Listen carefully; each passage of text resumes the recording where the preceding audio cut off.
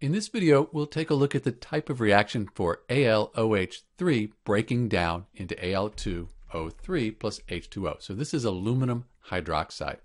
When we look at the reaction, we can see we have one thing here. It's breaking apart. It's decomposing into two new substances. If one thing breaks into two or more new things, that's a decomposition reaction. Let's take a look at this table of common chemical reactions here, and we can see right, here's our decomposition. AB goes to A plus B.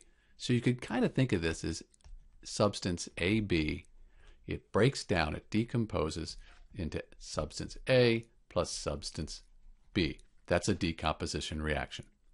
If you need help balancing this equation, there's a link at the end of the video and in the description.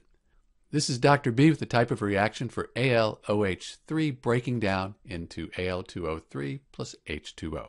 Thanks for watching.